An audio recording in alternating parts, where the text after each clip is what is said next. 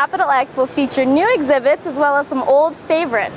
I got a sneak peek of some of the fair's activities on Thursday. From BMX demos to gravity-defying Chinese acrobats, Candy Nation, and Super Dogs, Capital EX organizers are really hoping that fairgoers do have 10 days of fun. You can expect a great time for all 10 days when they come out here for Capital EX starting tomorrow morning. Uh, we've got an excellent presentation this year. Be sure to check out the Edmonton Sun print and online versions for stories and videos on all of the latest on Capital EX. Reporting for the Edmonton Sun, I'm Linda Huang.